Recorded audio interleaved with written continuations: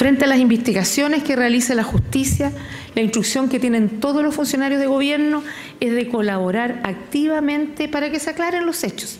Se requiere de la máxima transparencia y colaboración para que las instituciones efectivamente funcionen, están funcionando y los involucrados también puedan ejercer su legítimo derecho a la defensa o, cuando corresponda, a asumir las responsabilidades.